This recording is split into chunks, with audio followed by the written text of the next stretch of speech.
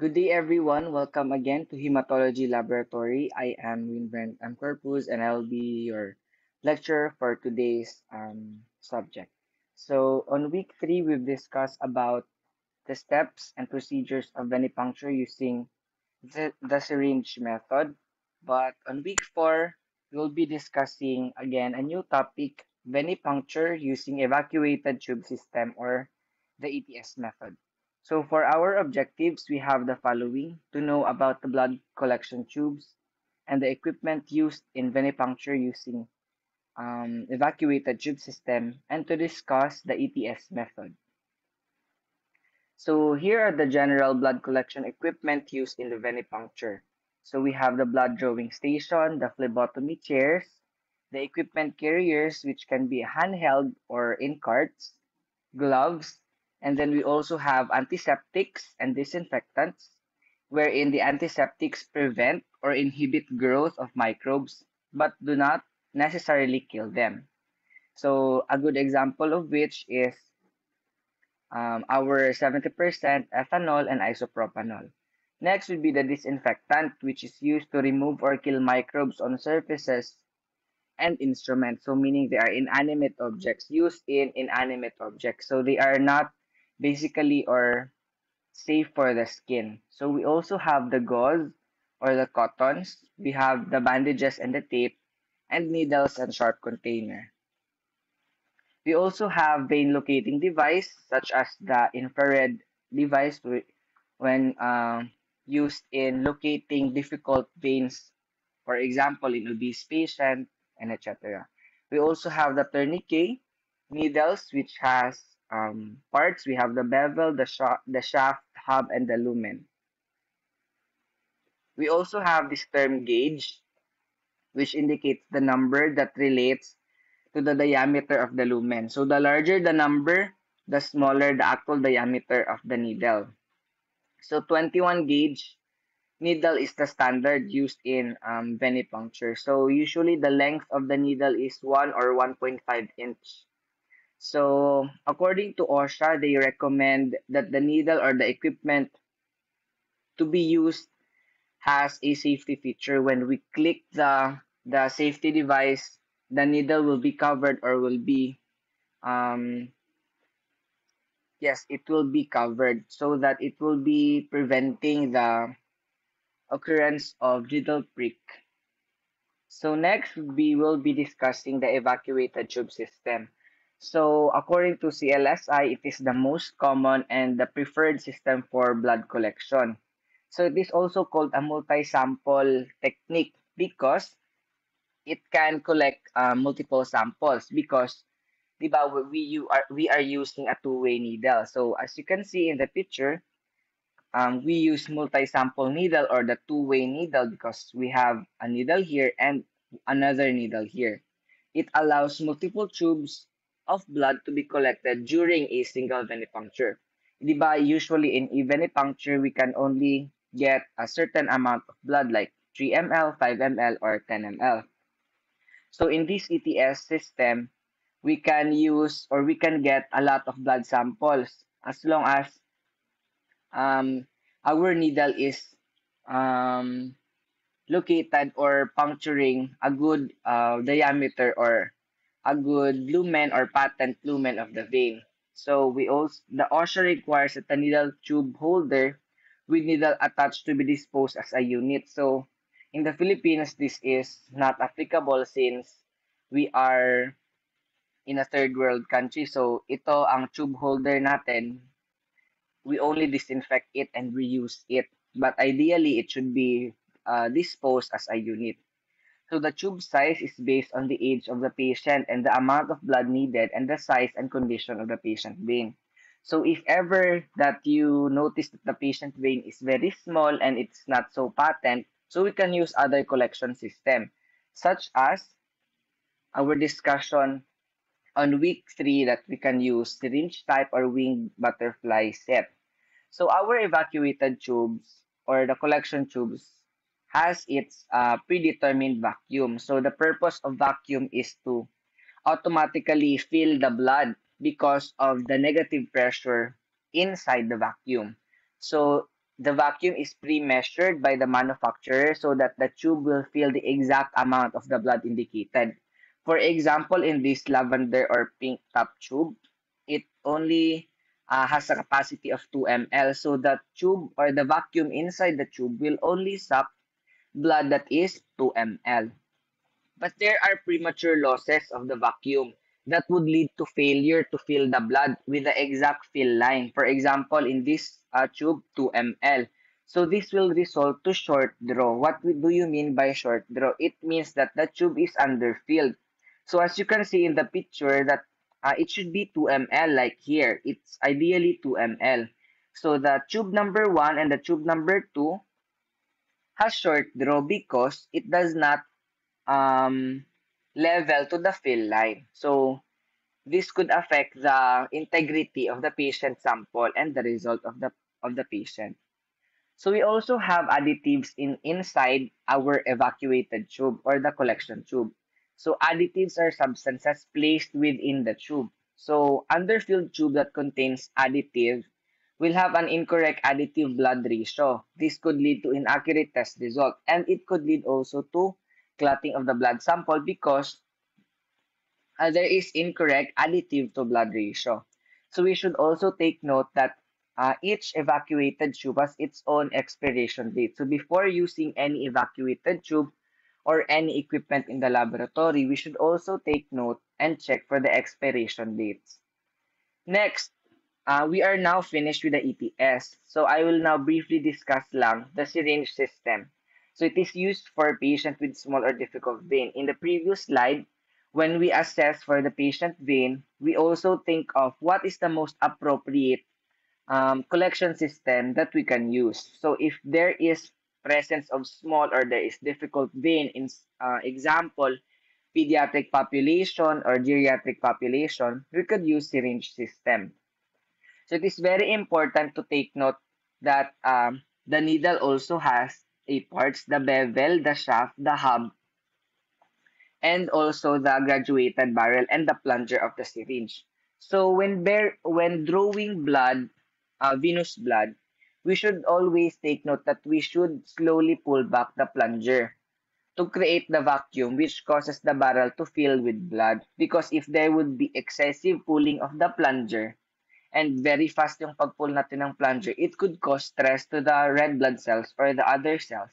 which can cause the patient sample to be hemolyzed. So the integrity again of our patient sample will be compromised. Next will be the wing infusion set or most commonly called the butterfly system. So it is used for collecting blood samples for small or difficult veins, again, similar to our syringe type. So it is commonly used when we are using or when we get blood samples from hand veins on the dorsal side of our hand, pediatric patient, and also the most common used uh, gauge in butterfly system is 23 because 'di ba the larger the number is um the smaller the size of the needle so he, it looks like a butterfly kaya siya tinawag na butterfly or wing infusion set so it could also be attached to the syringe or also to the uh, needle holder used in the ETS. So here are the important notes. Never transfer blood from one additive tube into another additive tube because it could interfere with the test.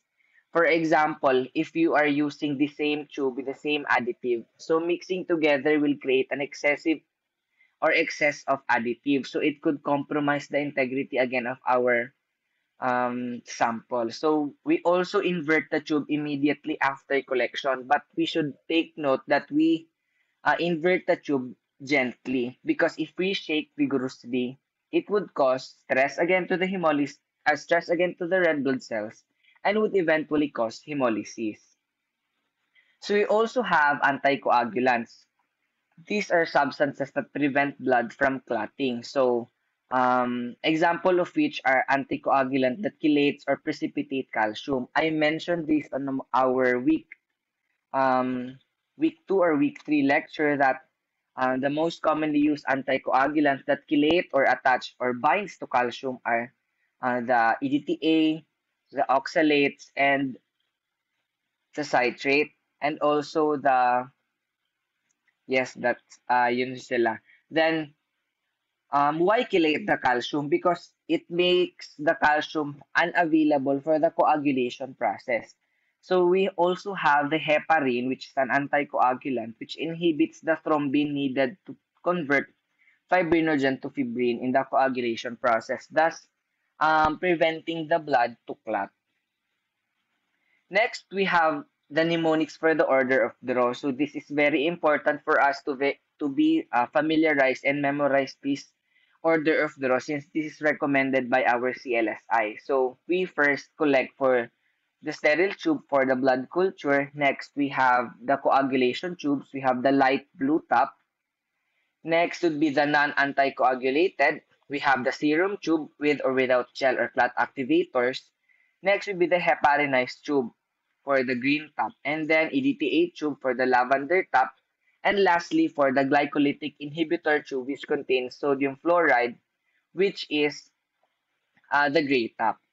So be very familiar with this order of draw because this is constantly asked in the board exam and in uh, our examination. So here is the summary table for the order of draw, the stopper color, and the rationale for collection of order. So take note to familiarize and read this table. Next, we will be discussing briefly the steps in the venipuncture using the evacuated tube system. First, we should always establish good rapport because it could uh, make the person at ease and make uh, feel to the person that the, the medical technologist is concerned with the patient. And when we establish good rapport, we establish good communication. So the patient will, will trust us.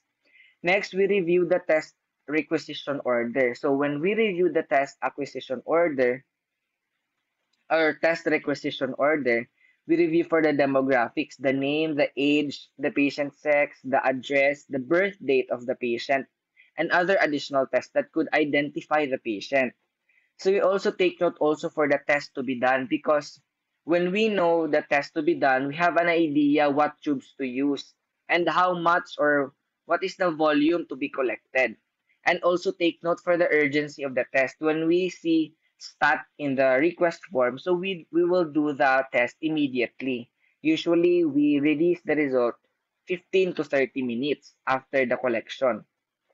We should also take note for special precautions. We will ask the patient, Ma'am, do you have any allergies to previous venipuncture? Or do you have latex sensitivity? If the patient knows what is latex. Next, we should approach and identify and prepare the patient. So you must also identify yourself. Good morning, ma'am. I am your medical technologist. I'm Winbrand Corpuz. So you should also explain the procedure so that your patient has an idea um, what will be, what are you going to do with the procedure and to the patient? And lastly, you should obtain consent. So, ma'am, um, are you ready po to proceed with the procedure? Then next will be positioning the patient. So your patient should be comfortably sitting on the phlebotomy chair. Then you ask, every time you touch the patient, you ask for permission, especially when applying the tourniquet. And you should always ask your patient to make a fist because this could help you um, identify more or clearly the veins in her, uh, his or her hand. Then when selecting the vein, we should also take note that it is best to collect um, first in at the median cubital vein, which is our first choice because it is more stable and more anchored. Next would be the cephalic vein, which is uh, somewhat less stable but se second choice for the venipuncture site. And the least choice for the antecubital veins is the basilic vein because uh, we've discussed this already that it underlies nerve and arterial vessel, the ulnar or the, or the median nerve, and the brachial artery. So to prevent uh, any complication or hitting the artery or the nerve, we select first the median cubital vein or the cephalic vein. Next would be the cleaning the, and drying the site. So it is very important to, to, to do an aseptic technique so that we could not um, inoculate um, micro, microorganism in the blood or in in vitro or in vivo of the blood vessel. So drying of the site is also very important since we've discussed this already that uh, when the patient site is not thoroughly dried, it could lead to hemolysis since alcohol can hemolyze the blood sample. And it is also very painful for the patient. Mahapdi yung alcohol if napunta sa blood. And then we prepare the equipment. And then, um, we remove the tourniquet ha before, uh, when we are interviewing or we are cleaning the site so that we could prevent the hemoconcentration because the maximum amount of time that our tourniquet is to be applied is one minute. Then we reapply the tourniquet. And then when we are ready to puncture the site, we say to the patient, Ma, magtusok na po ako or sharp scratch. And when we establish the blood flow, we now collect for blood. And then we observe for the proper order of draw, specific for the test. And then before um, removing the needle, we remove first or release the tourniquet. So when we remove the needle, we place a gauze or cotton, and then after which we label and gentle, we put the blood in the um, evacuated tube. Then we label, we we mix it, and it is very important, diba, to do not mix the tube vigorously because it could cause hemolysis. And then we discard the sharps to avoid puncturing others and ourselves because this is also very important to avoid needle stick injury. And then we thank our patient and sanitize ourselves and also the equipment used. So the last step would be the transportation of specimen to the laboratory. So it is very important before leaving the patient, um, you must double check if siya ba talaga yung patient. And do not forget to thank the patient because uh, as a courtesy to the patient, we should also thank them. So I think this is my last slide. So eh, do you have any questions about the evacuated tube system? This is very similar to our syringe type, but we are using here uh, two two-way needle and we can collect um, many blood volumes because um, of the evacuated tube system and the two-way needle. So any questions? Okay, thank you for listening and study well.